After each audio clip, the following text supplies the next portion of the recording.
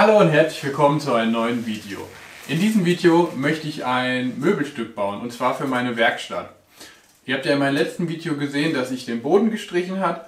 Das hat den Grund, dass ich mal meine Werkstatt ordentlicher haben möchte, ein bisschen aufräumen möchte. Und in diesem Zuge möchte ich auch diese Werkbank hier loswerden. Die Werkbank an sich ist eigentlich nicht schlecht, sie erfüllt ihren Zweck. Für mich ist sie ein bisschen niedrig, eigentlich müsste sie gut 20 cm höher sein für mich. Äh, ein anderer Grund ist, dass es immer unordentlich aussieht. Hier ist alles offen und wenn ich hier meine Werkzeuge oder andere Sachen hier reinlege, dann sieht das immer ein bisschen äh, unordentlich aus. Deswegen möchte ich einen Schubladenschrank bauen. Schubladenschrank, weil Schubladen sich natürlich super dazu eignen, um Sache, Sachen zu sortieren und zu organisieren. Zudem sieht es immer ordentlich aus, weil man, selbst wenn man alles unordentlich in die Schubladen reinschmeißt, kann man die Schublade zumachen und man sieht nichts mehr. Ja, in diesem Teil beschäftigen wir uns erstmal mit der Planung, also CAD in Fusion 360. Das möchte ich euch zeigen. Und dann eventuell in, in einem nachfolgenden Video baue ich auch den Schubladenschrank mit den äh, Planungsunterlagen, die ich in diesem Video erstelle. Ja, ich wünsche euch sehr viel Spaß und ich hoffe, ihr könnt ein bisschen was lernen dabei.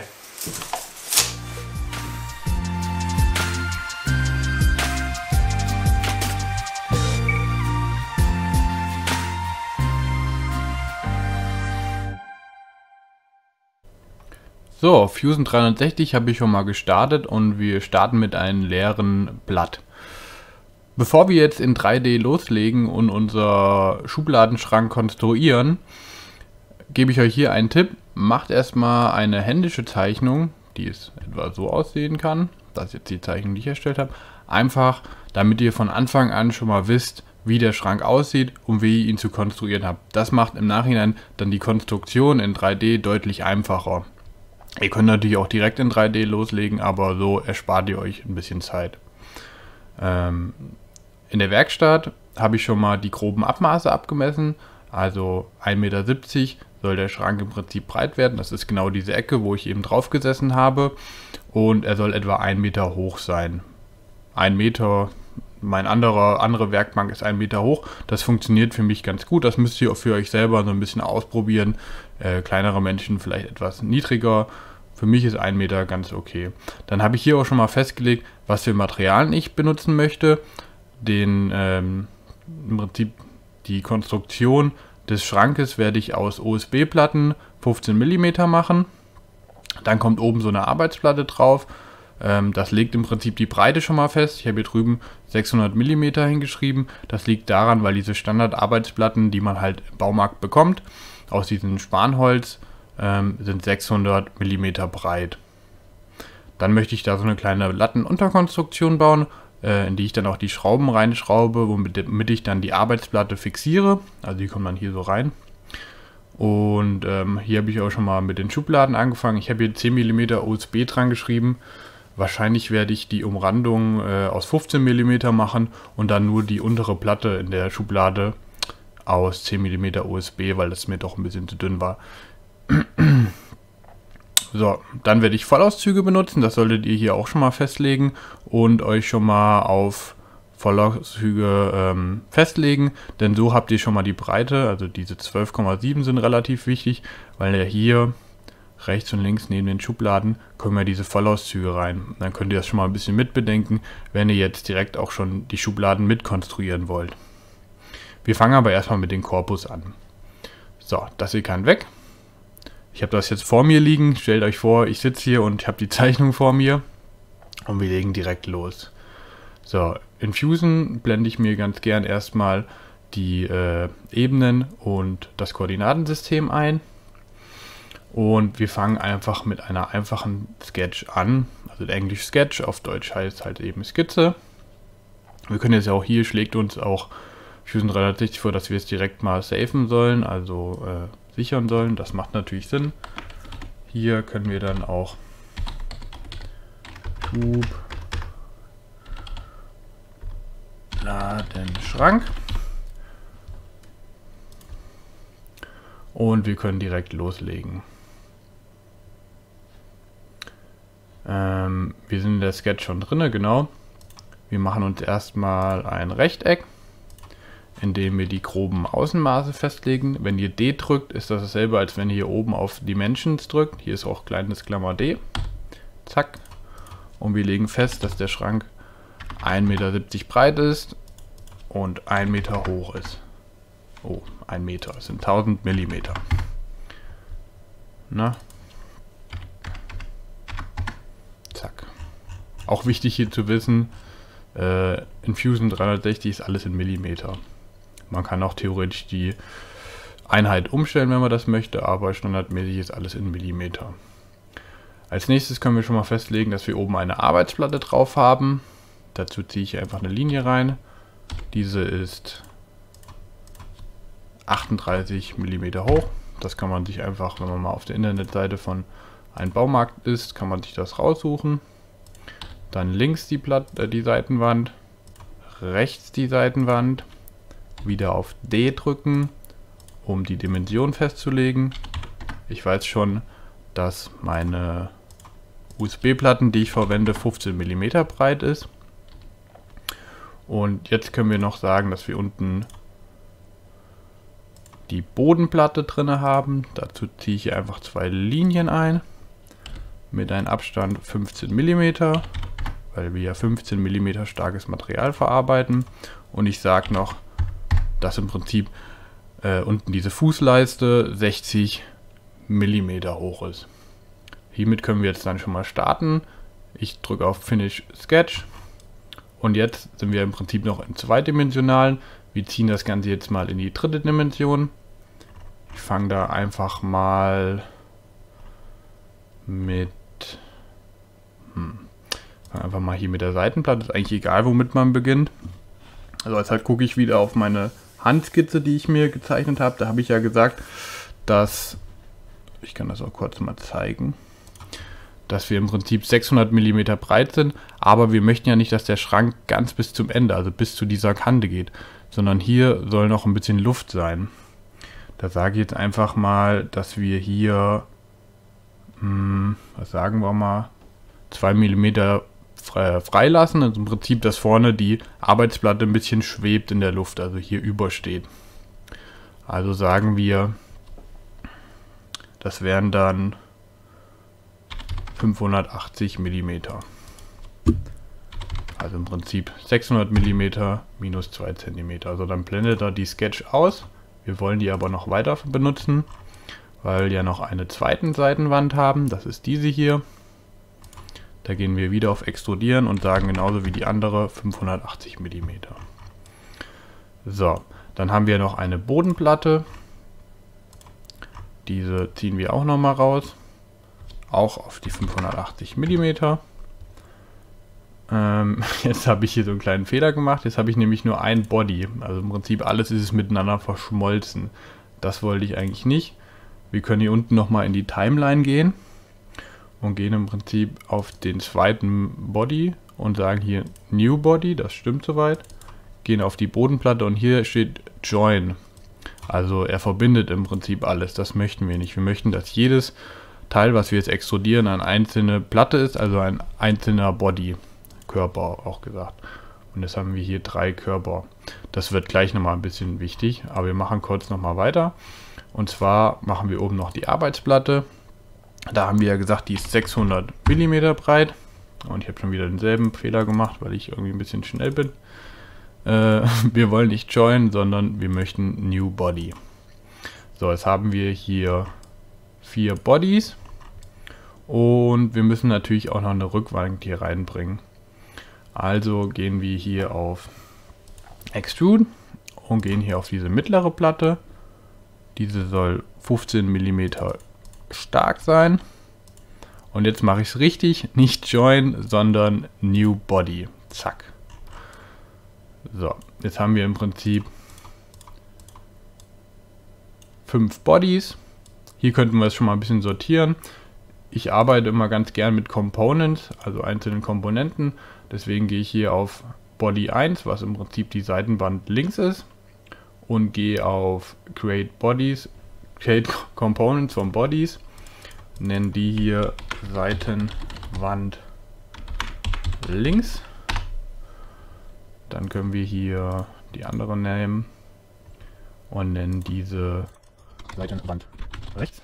Dann noch die Bodenplatte und dann die Bodenplatte. Man könnte jetzt auch theoretisch das Ganze hier oben umbenennen, also hier einfach umbenennen. Aber ich habe es mal ganz gerne als Komponente. Äh, wenn man später dann ähm, Joint vorgibt, also Verbindung, beziehen voneinander, dann ist das immer ganz schön. Aber wir machen das erstmal so. So, das ist die Rückwand. So haben wir jetzt mal ein bisschen notiert, dann, Beispiel, dann können wir hier im Raum sehen, ah, ich möchte meine Rückwand auswenden. Das ist eigentlich mal ganz praktisch. So, jetzt haben wir im Prinzip schon mal den Korpus mit oben der Arbeitsplatte drauf. Aber ich möchte hier drinnen noch äh, Trennwände reinmachen. Ich habe da sogar zwei genommen, um ein bisschen die Stabilität zu verbessern. Hm, ich sehe, ich habe auch gerade einen kleinen Fehler gemacht.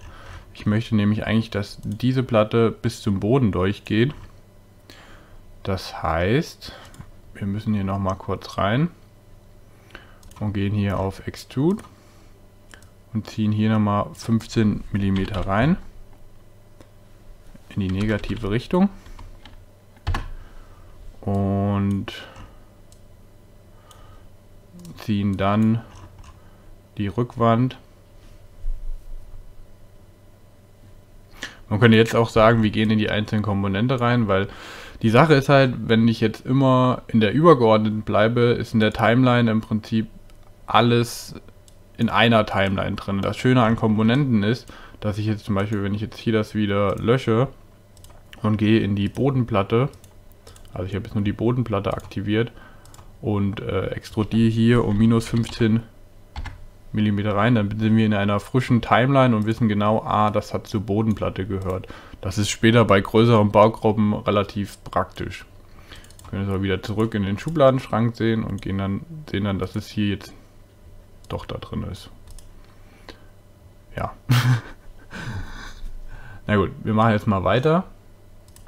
In der Rückwand diese explodieren wir jetzt einfach mal bis zum Boden.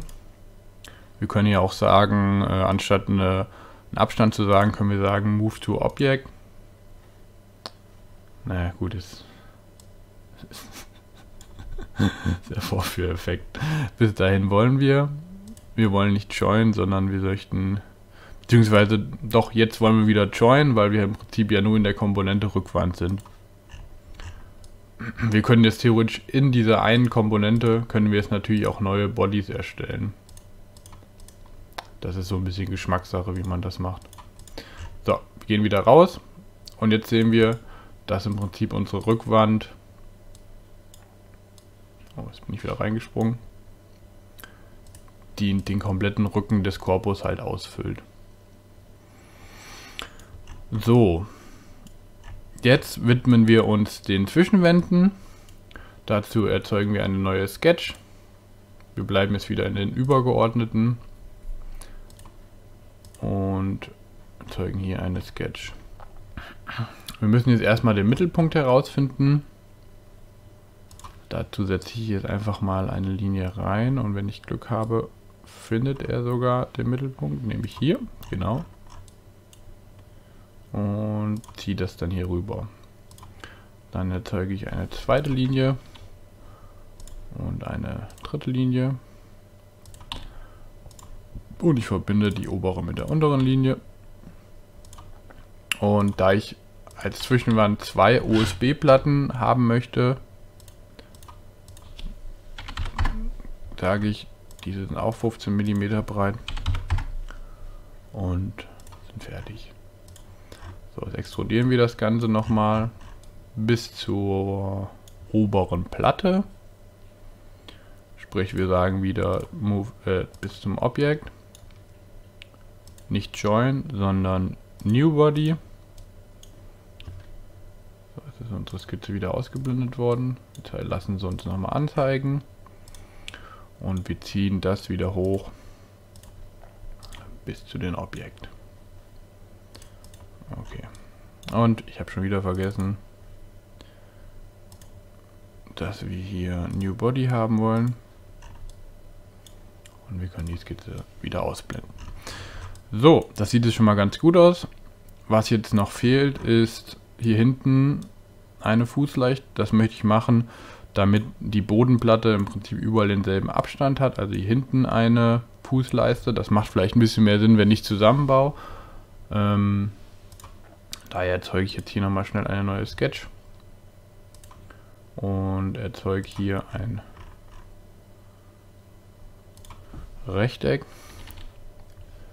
und sage, dass diese Linie auf diese Linie fallen soll oder auf diesen Punkt. Finish. Ziehe diese hier raus um 15 mm.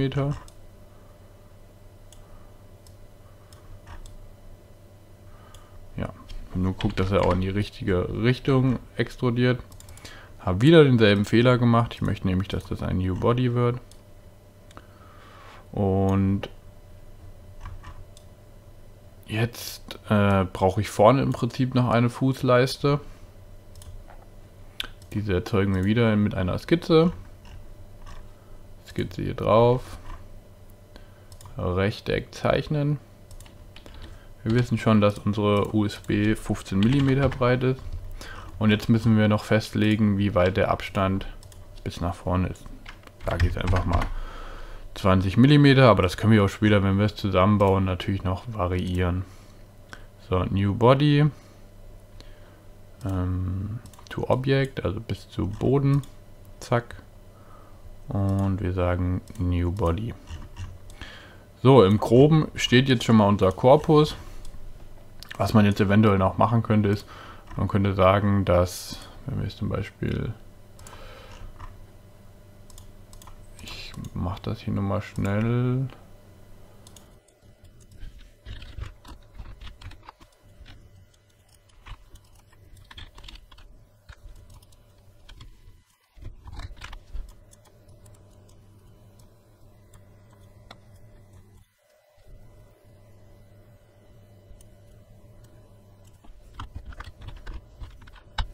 Ah, okay.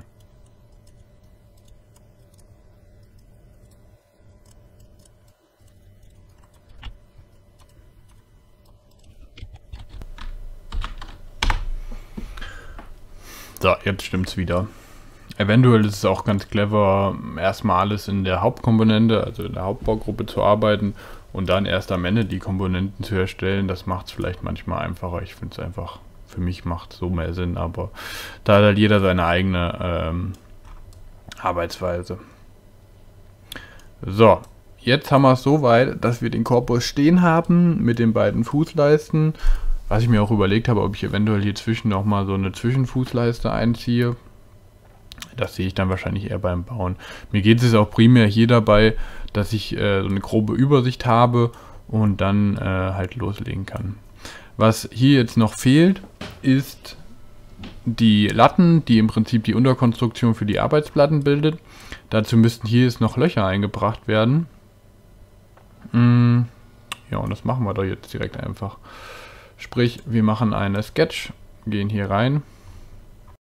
Weil so habt ihr es im Prinzip auf der Ebene, wo ihr die Skizze habt, könnt ihr jetzt hier snap, äh, slicen und machen jetzt hier die Ausbrüche. So, ich weiß, dass ich an dieser Ecke, an dieser Ecke, also mittig, könnten auch hier kurz nochmal eine Linie einziehen, im Prinzip von Mitte zu Mitte. Fügen hier eine Latte ein, als keine Konstruktionslinie, sondern als Volllinie. Und nicht ganz vorne, weil ich vorne noch so eine kleine Blende machen möchte, also etwas Abstand.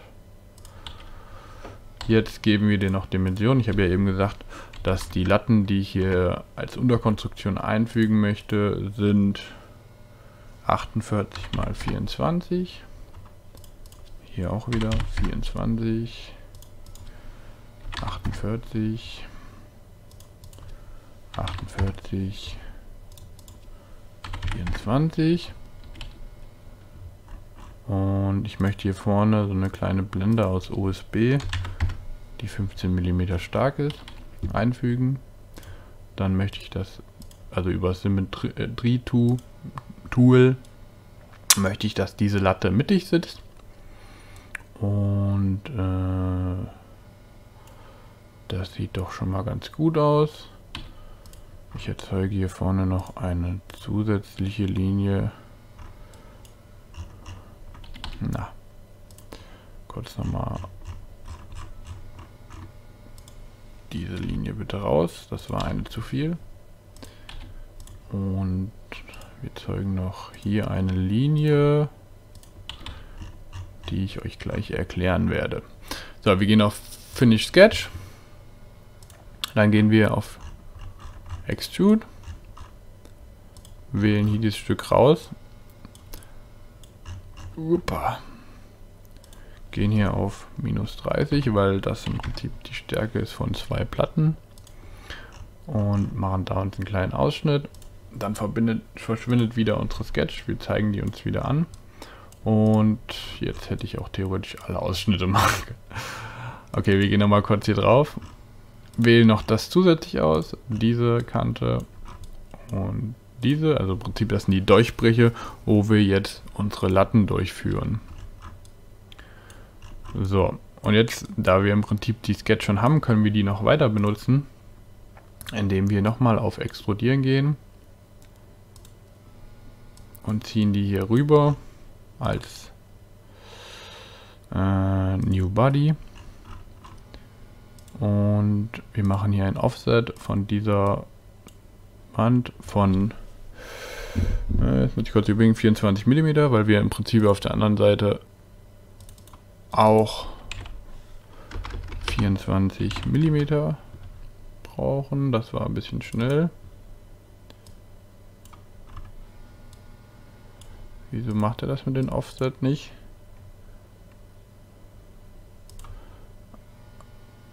Ähm, p -p -p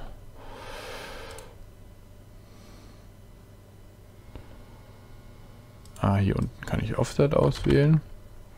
Prinzip, wir möchten ein Offset von dieser Wand, weil wir hier drüben auch noch eine Latte einfügen, die von hier bis hier geht.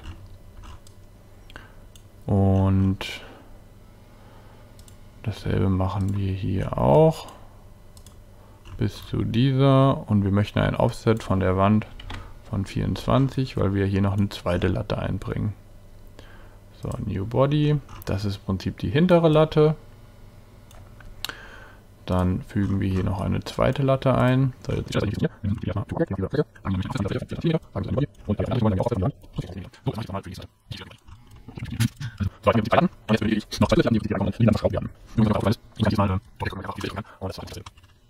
die haben wir eine Konstruktion. Äh, wir machen das hier eine kleine Blende, die extrude. Und den diese, diese aus und den nach vorne. Wir haben, wir haben eine Blende, drauf aufbauen, das Jetzt ist das Und dann füge ich die Materialien hinzu.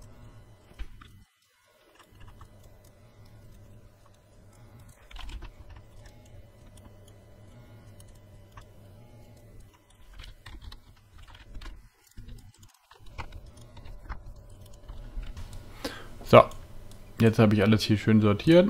Jetzt gehen wir auf Physical Materials, also Materialien. Dann haben wir die verschiedensten Auswahlmöglichkeiten. Wir bewegen uns vor allem hier bei Holz. Äh, ich glaube, OSB ist nicht in der Auswahl dabei. äh, ich habe es auf jeden Fall noch nicht gesehen. Deswegen werden wir uns ein paar edleren Materialien bedienen. Es macht hier im Endeffekt eh, es ist für mich eigentlich nur Optik. Dann kann man sich das ein bisschen besser vorstellen. Zum Beispiel hier Weißeiche, sieht immer sehr gut aus.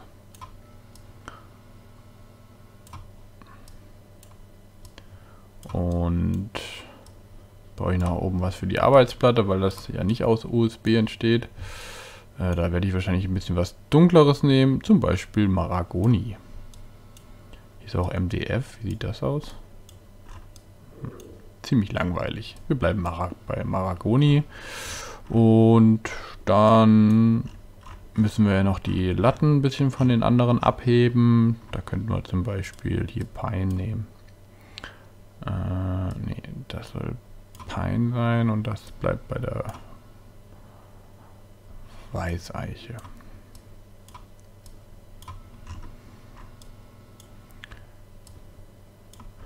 So, und jetzt kann man sich das schon mal ganz gut vorstellen. Hier oben Arbeitsplatte, in dunklen Maragoni gehalten. Ich werde kein Maragoni verwenden, aber äh, im CAD-Programm kann man das ruhig mal angeben. Das kostet ja nichts.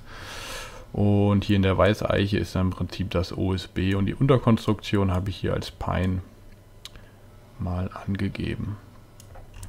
Was jetzt noch fehlt, sind die Schubladen aber ich weiß nicht, ob ich das jetzt noch mit in diesem Video reinmachen soll. Im Endeffekt ist es relativ simpel. Ähm, ich glaube, ich nehme schon eine Weile hier auf.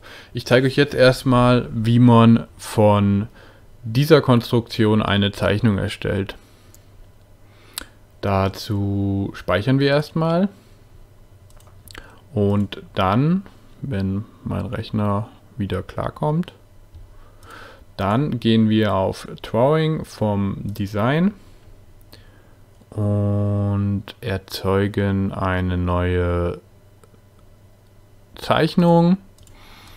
Ähm, ISO, das passt alles. A3 können wir auch nehmen, auch wenn ich es später in A2 ausdrucke, das, äh, in A4 ausdrucke, das ist egal. Okay. So, das erste, was er machen möchte, ist ein äh, Base View, also eine Standardansicht. Äh, ich werde jetzt erstmal die Scale ein bisschen verändern. Gucken, wie das mit 1 zu 10 aussieht. Das sieht schon ein bisschen besser aus. Wir möchten eine Front-Ansicht.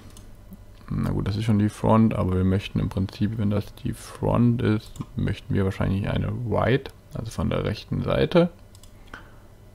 Zack. Okay. So, und hier haben wir es im Prinzip die Vorderansicht. Auch hier fragt er uns wieder speichern. Ja, ist immer eine gute Idee, speichern. Und jetzt können wir hier auch die ganzen Dimensionen wieder angeben. Sprich, was ganz wichtig ist, natürlich unser über alles, von links nach rechts. Dann unsere Höhe. Das sollte man erstmal grundlegend festlegen. Und jetzt möchte ich ja wissen, wie die einzelnen ähm, sag ich mal, einzelnen Platten dimensioniert werden. Das heißt, hier die Seitenplatte ist jetzt in diesem Fall 962 mm. Das wird halt etwas krumm, weil ja oben die Arbeitsplatte 38 mm nur dick ist. Dadurch bekommen wir ein krummes Maß, aber das kann uns ja relativ egal sein. So, dann ähm, hier von unserer Bodenplatte. Die ist 160, 100. Na, das soll nochmal ein Tick nach unten geschoben werden, damit die nicht aufeinander sitzen. Genau, dann wissen wir im Prinzip die Bodenplatte schon. Dann, von, dann haben wir im Prinzip auch die Breite von der Blende. Die Blende müsste man natürlich jetzt nochmal die Höhe wissen. Dazu gehen wir wieder auf Dimension. Und wir wollen, ich drücke gerade äh, Shift und dann wissen wir, dass die 48 mm breit ist. Also die Höhe von der Latte hätte ich mir auch eigentlich denken können. So, was wir jetzt noch fehlt, ist natürlich die Tiefe. Wir müssen noch eine Ansicht von links, also von hier haben. Dann gehen wir einfach auf Projected View, also eine Projektionsansicht. Zack.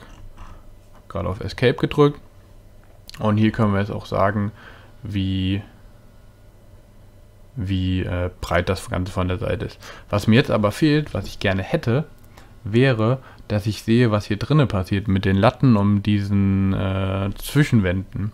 Deswegen lösche ich die nochmal kurz und äh, er soll mir eine Schnittansicht geben. Also wir schneiden hier durch, sagen okay und lassen uns das hier drüber projizieren. Okay. Und was wir nämlich jetzt haben ist, dass wir jetzt auch die Latten sehen und genau wissen, wo unsere Ausschnitte sind. Das heißt, wir haben jetzt in einer Ansicht deutlich mehr Informationen und das ist eigentlich immer so das Ziel, dass man in möglichst wenigsten Ansicht die meisten Informationen, wobei man natürlich immer beachten muss, es muss übersichtlich bleiben, das ist so Gebot Nummer eins. Wenn, wenn man natürlich in einer Zeichnung extrem viele Informationen hat und es ist komplett unübersichtlich, äh, das macht dann auch irgendwo keinen Sinn. So, das, das ist zum Beispiel ein Maß, was wir hier drüben haben. Das bräuchten wir jetzt nicht unbedingt hier angeben, aber fand ich gerade ganz praktisch.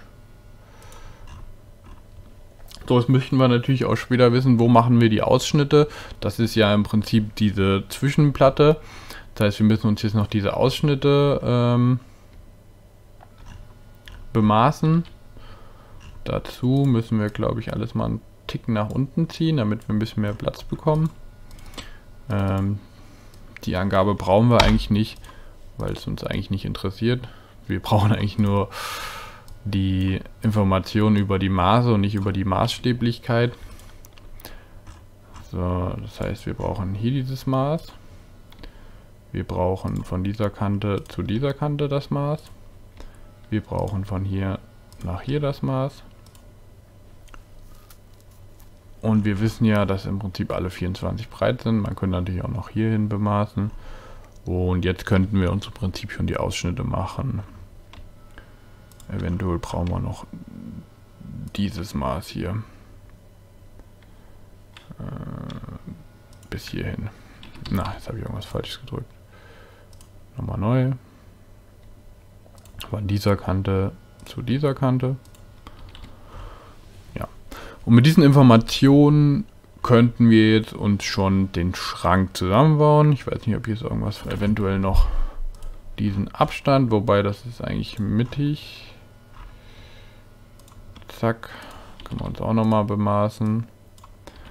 Und jetzt haben wir eigentlich alle wichtigen Informationen. Wir könnten uns jetzt daraus eine Einkaufsliste erstellen, indem wir halt jedes Brett als einzeln betrachten. Können jetzt da vielleicht auch eine kleine Excel-Tabelle draus äh, erstellen, wo wir die einzelnen Zuschneidmaße haben.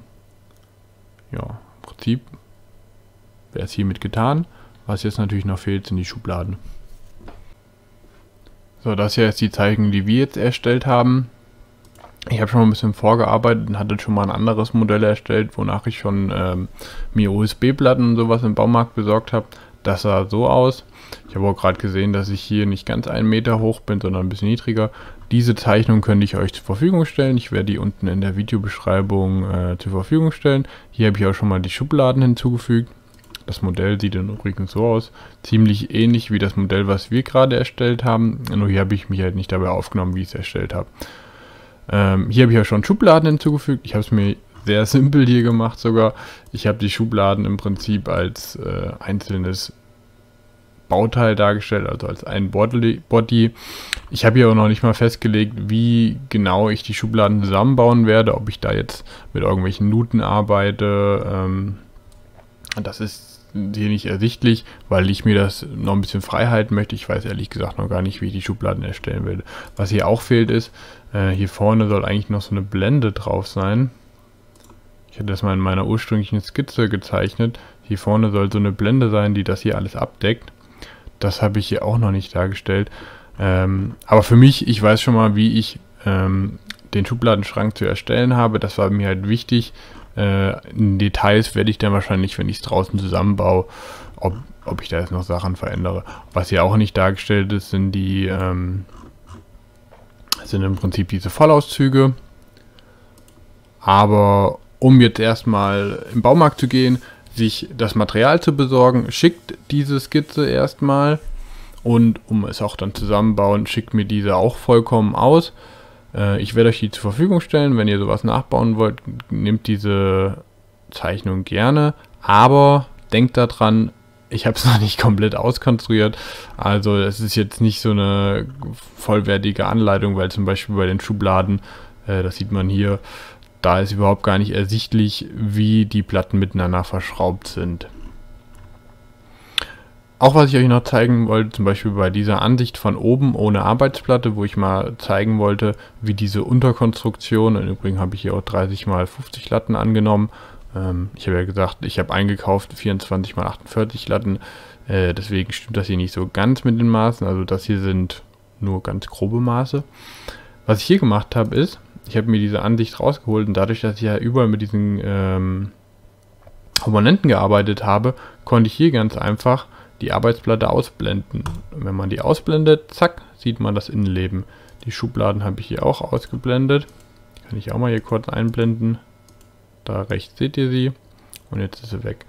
Das ist eigentlich auch ganz praktisch. Und vor allem, wenn man hier ordentlich arbeitet, kann man recht simpel Sachen ausblenden.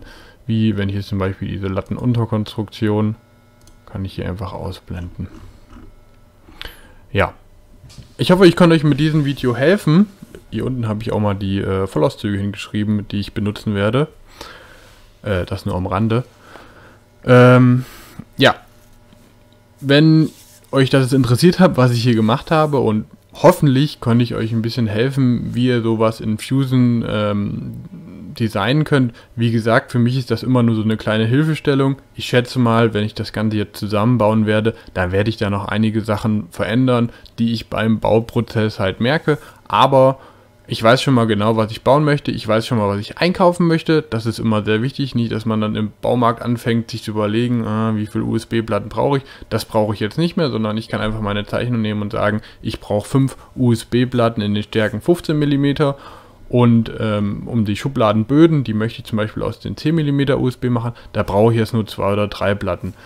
Ähm, das ist schon mal sehr praktisch, dass man im Nachhinein nicht nochmal im Baumarkt fahren muss, weil man irgendwas vergessen hat. Mhm. Zudem kann ich mir jetzt schon mal die Platten nehmen und alle zusägen auf die richtigen Maße, wie zum Beispiel die Seitenplatte kann ich hier nehmen. Ich brauche Seitenplatte, zwei Platten, rechts, links, in den Maßen 690 mal 500, nee, 580 mm und kann da sich schon mal alle Platten zurechtsägen und dann kann ich die wie im Baukastensystem zusammenschrauben. Nur in den Hinterkopf natürlich, ich habe es noch nicht voll auskonstruiert. Das, die Mühe könnte man sich natürlich jetzt auch machen und wirklich in CAD alles bis zum letzten Detail. Ich kann hier noch Schrauben hinzufügen. Ähm, die Schraubenlöcher könnte ich noch in die Platten hinzufügen, sodass man sich alles im Prinzip vorfertigt. Das ist natürlich extrem viel Arbeit und die erspare ich mir auch so ein bisschen genauso wie dass ich die Schubladen hier nur ganz grob dargestellt habe, so angedeutet, sage ich mal. Weil zum Beispiel möchte ich mir auch die äh, Freiheit erlauben, sage ich mal, dass ich jetzt auf der linken Seite habe ich jetzt gar keine Schubladen dargestellt, weil ich wahrscheinlich hier unten vielleicht ein kleines Fach mache, was man, wo man zum Beispiel ähm, diese MacPacks äh, reinstellen kann oder sowas, also diese ähm, Werkzeugkoffer hier reinschieben kann und dann oben nur zwei oder drei Schubladen macht. Äh, ja, das mal nur am Rande. Okay, das war jetzt nochmal ziemlich viel am Rande. Ich hoffe, euch hat das Video gefallen und guckt euch auch mein nächstes Video an, wenn das dann irgendwann mal erscheint. Und dann könnt ihr auch sehen, wie das Ganze zusammengebaut wird in der Realität. Ich glaube, das ist vielleicht für manche Leute etwas interessanter als hier die blanke Theorie mit CAD. Ciao, bis zum nächsten Mal.